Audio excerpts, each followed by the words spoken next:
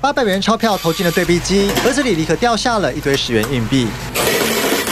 总共掉出了多少钱？呃，十个十元的铜板。不过在基隆有民众就像这样换零钱想要假娃娃，但机器里却掉出了大把硬币，当场把他给吓坏。想说换一百块而已，然后我看了一下，想说为什么感觉出来的数量越来越不对？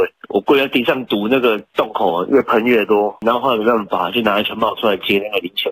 看看这多到得用桶子来装的硬币，数一数竟然超过一万五千元，换钱的民众吓坏，赶紧打电话报警，也通知业者前来处理。还有包一个红包，他包多少给你？两千。原来是因为机器故障，娃机业者感谢他把钱归还，还包了两千元红包给他致谢。不过这样的好运气可不是每个人都有。那如果是你遇到，你会怎样？应该不太可能吧？是机器有点故障的问题。